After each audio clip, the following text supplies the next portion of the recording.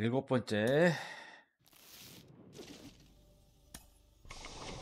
아, 또 보라야. 씨.